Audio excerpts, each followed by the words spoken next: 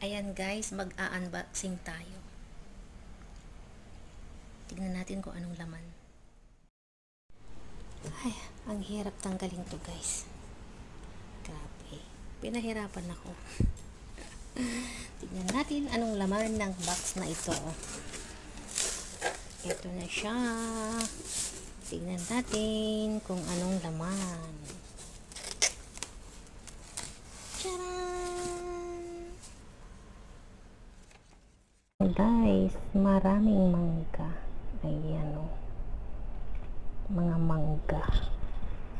Ayan ito. Tignan nga natin.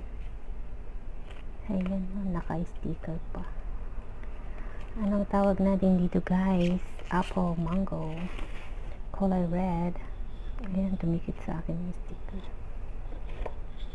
Kulay red. Iba yung mangga nila dito guys. Ito yung mangga nila dito karamihan. Tsaka yung papaya mango.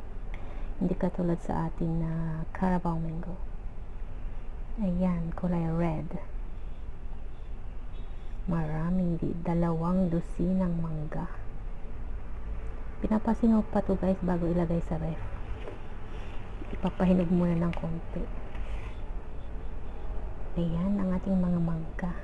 Ayan, magsasawa tayo sa mangga. Gawin natin shake. Mango shake.